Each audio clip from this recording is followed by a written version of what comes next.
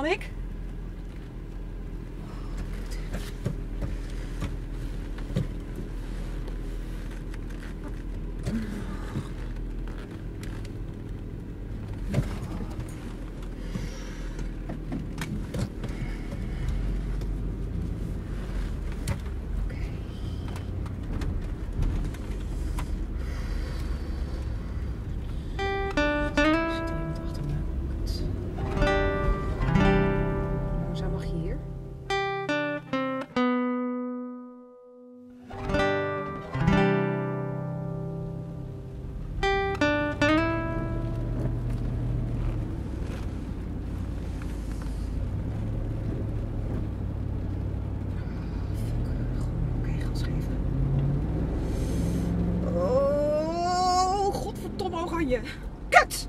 Sorry.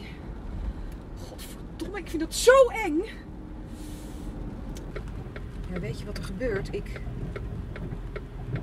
schiet dus in totale paniek als ik anderen...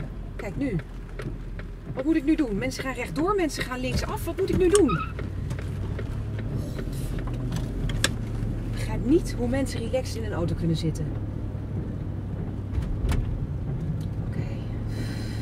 Adem. Ontspan. Het gaat al beter hoor. Dat vind ik ook een beetje eng. Oeh, die duiven. Oeh.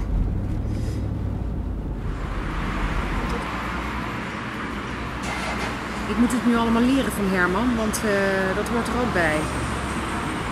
Maar ook zoiets, weet je, dat vind ik dus weer doodeng.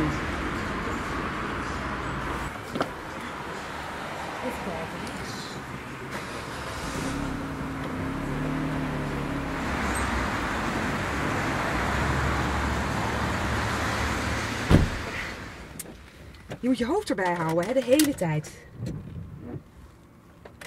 Oké. Nou, we gaan dus nu naar Herman.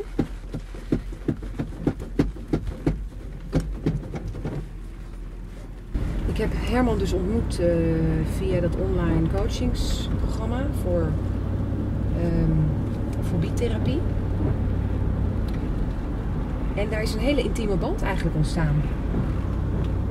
Tussen mij en hem. En eh, hij heeft mij echt eh, ja, gesteund in, eh, in, hele, ja, in, in, in de afgelopen maand waarin ik echt door een diep dal ben gegaan. Ik heb echt... Ja, weet je, ik word iedere dag geconfronteerd met mijn angsten. Het, het pionnetje raken. Ik heb een aantal aanbetalingen gedaan.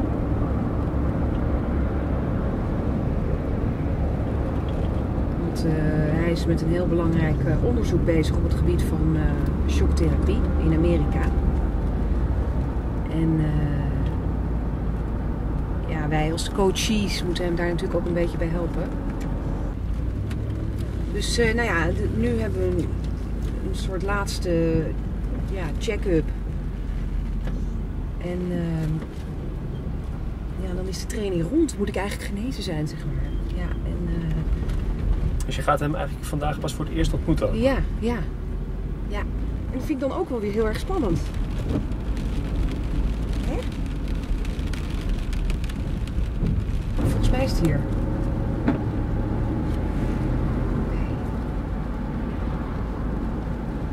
Ja, hier bij die nieuwe gebouwen. Ja, het is goed.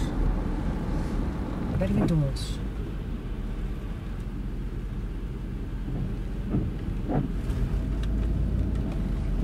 Ja, hier is het. Is vanuit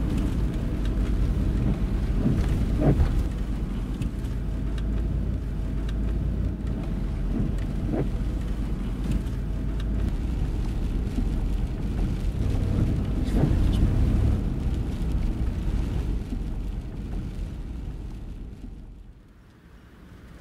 Hoi, Herman met Hanneke.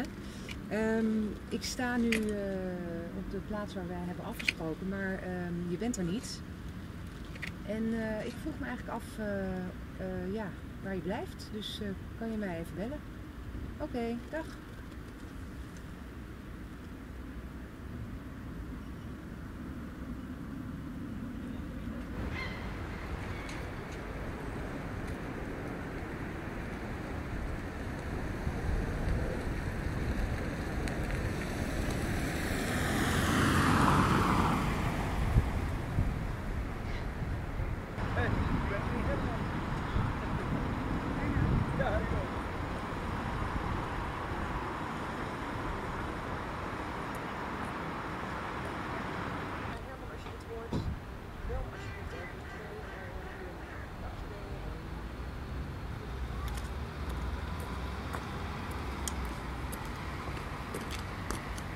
Krijg hem dus niet te pakken, hè?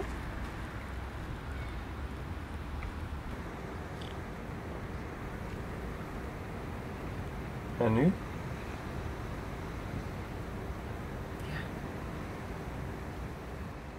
Hij zal toch wel een goede reden hebben? Ja. Denk je niet? Nou ja, wat, wat weet je eigenlijk van hem? Ik heb super vaak met hem veel gepraat, weet je. Over, over van alles en nog wat. Ik heb het over zijn ex-vrouw gehad, over zijn plannen om in Amerika opleiding te gaan volgen. Weet je, dan zou ik nog mee mogen. Als testcase, omdat ik natuurlijk zoveel succes heb geboekt met mijn eh, therapie. Maar weet je bijvoorbeeld eh, waar hij woont?